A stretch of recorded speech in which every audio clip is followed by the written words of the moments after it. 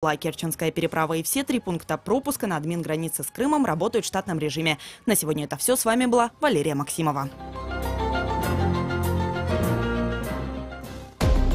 С понедельника по пятницу в 8.35 и 18.30. С вами Радио Крым Реалии. Слушайте нас на средних волнах на частоте 549 килогерц.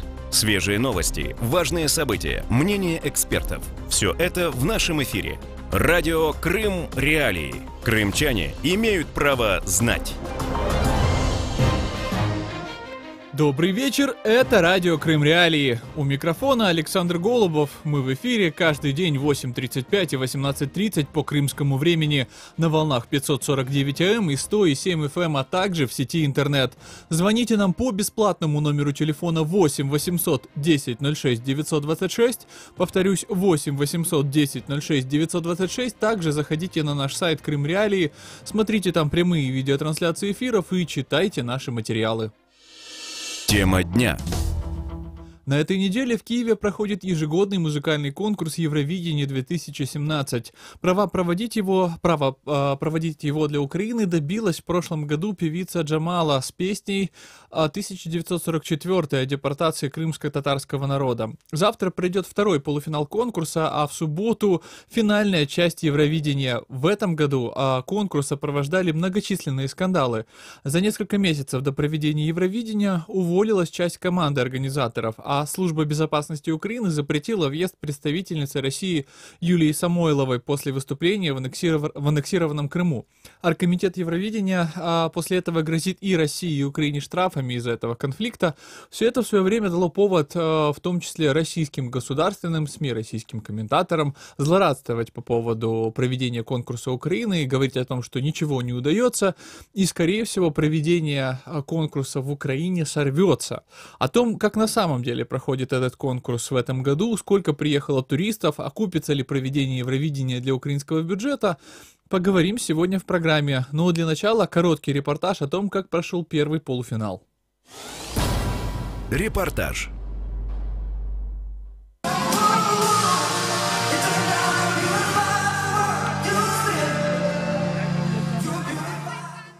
Киеве 9 мая прошел первый полуфинал международного песенного конкурса «Евровидение-2017». Открывал церемонию в Киевском международном выставочном центре украинский певец Дмитрий Монатик. Он исполнил на сцене англоязычную версию своего популярного хита «Кружит» «Спиннинг».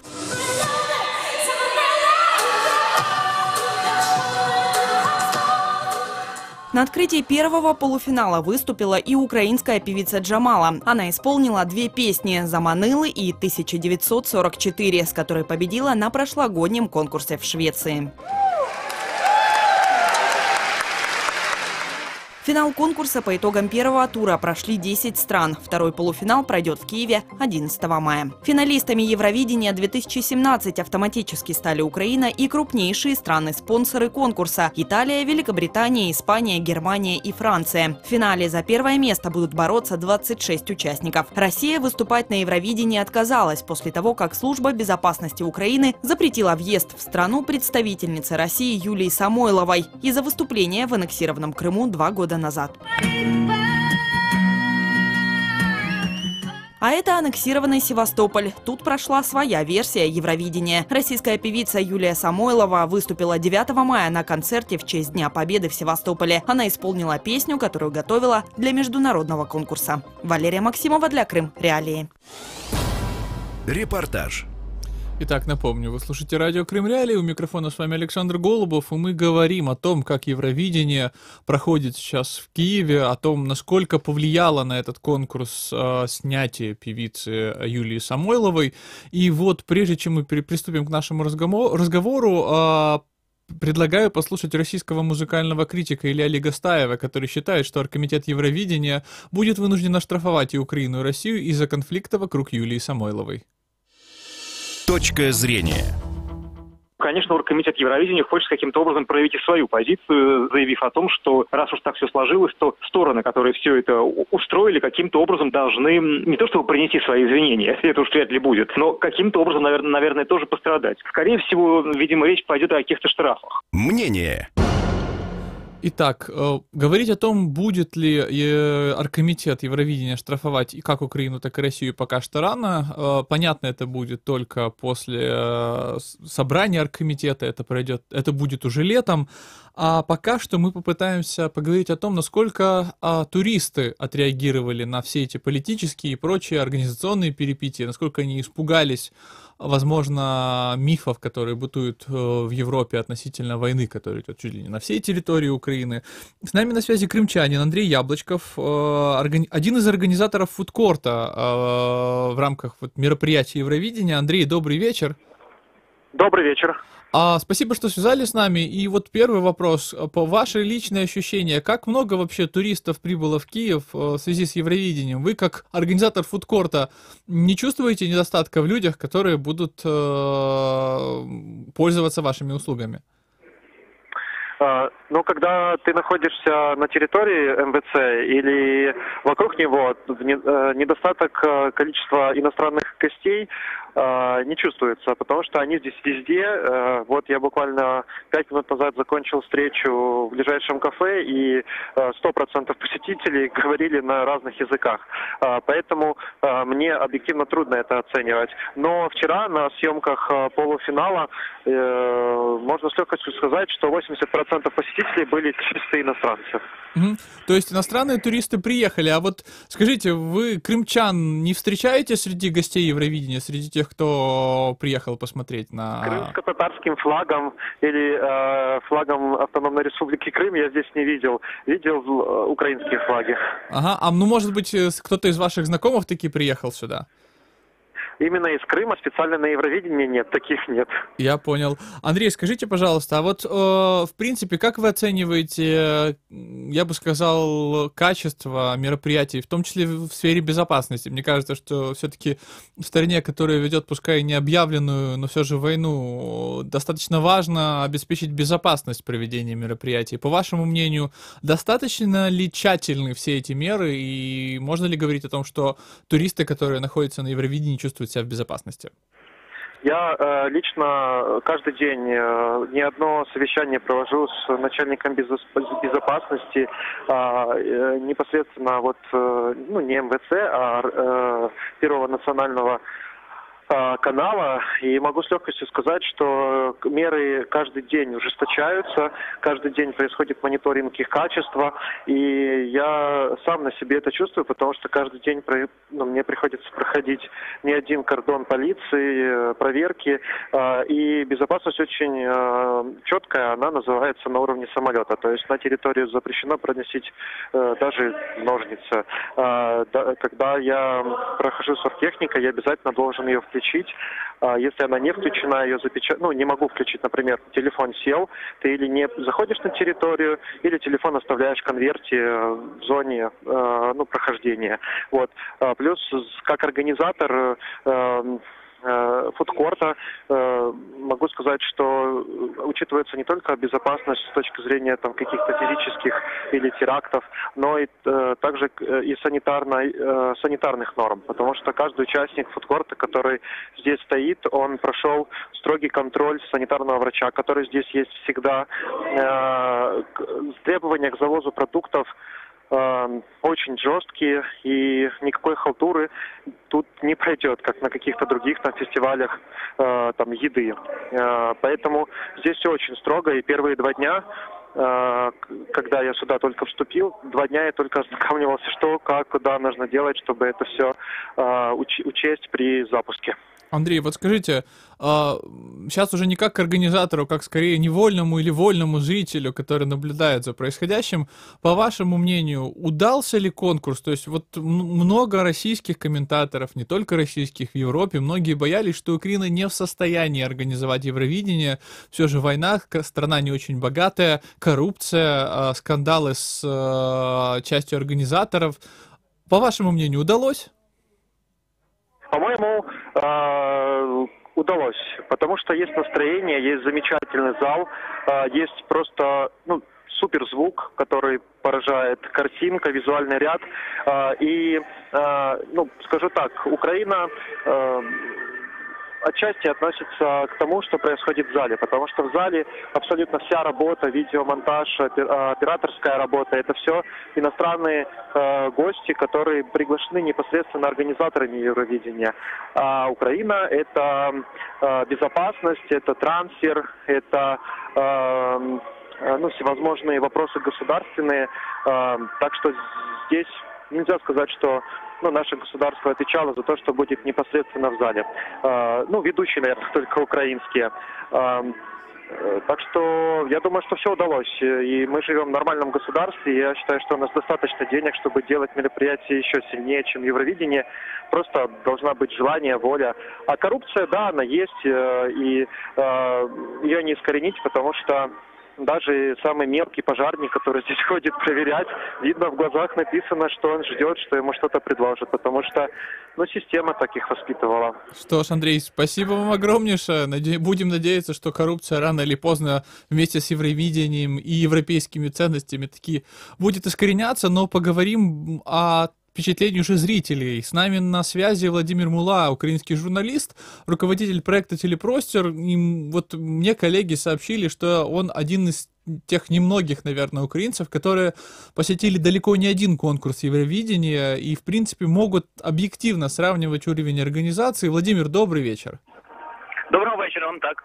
А спасибо, что связались с нами. Вот э, не соврали мне коллеги, что вы много уже посетили, увидели э, ни одно Евровидение, ни один конкурс э, в разных европейских государствах, и, соответственно, можете оценивать э, уровень проведения украинского Евровидения не просто отдельно, как бы вот э, как некий факт, а вот в сравнении с другими вариантами Так, це правда. Я висвітлюю Євробачення і працюю на Євробаченні з 2011 року. Так що картинка перед очима міняється часто, і те, що відбувається в Україні, я можу так оцінити не просто як рядовий глядач. Це правда. Владимир, насколько я знаю, у нас есть только пару минут, поэтому буду предельно краток. Вот по вашему мнению, соответствует э, украинское Евровидение европейским стандартам?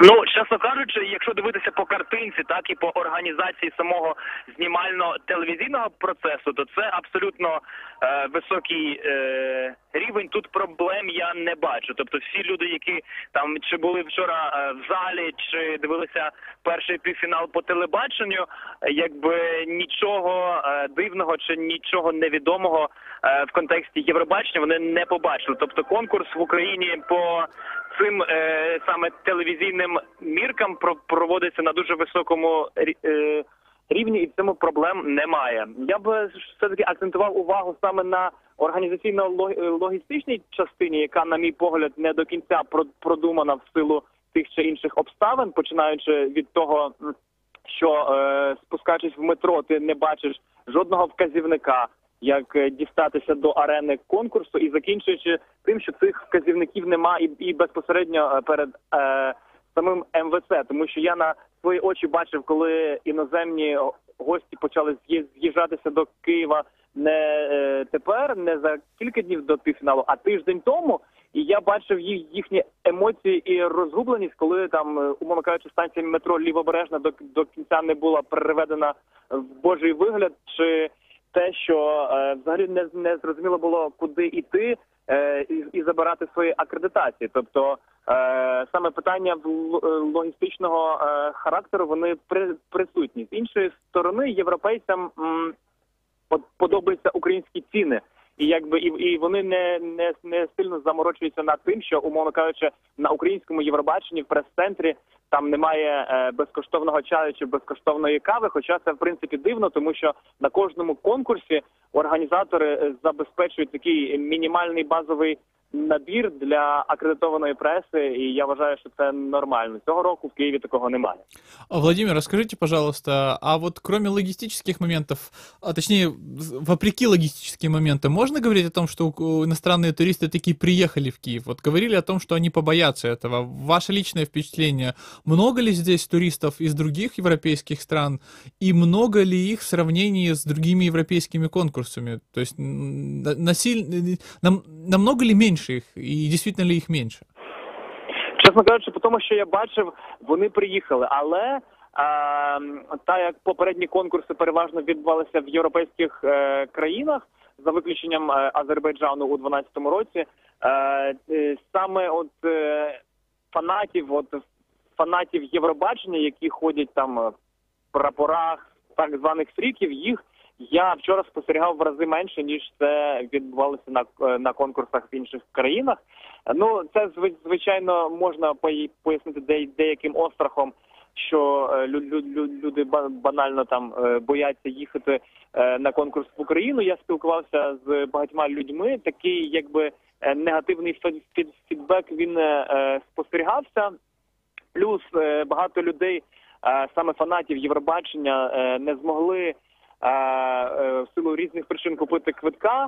А тому, що коли відкривалася сама перша хвиля квитків на Євробачення, сайт був український, якби і не встигли пере, пере, переключити ось е, англійську версію, перекласти все, і там е, щось не спрацювало. І відповідно також дуже багато людей з різних країн з офіційних фан-клубів е, також не могли придбати цього квитка і тому що я спостерігаю багато е, або українців е, ходять на конкурс, або українських заробітчан. І навіть я сьогодні спілкувався з концерт UA, це офіційний партнер Євробачення.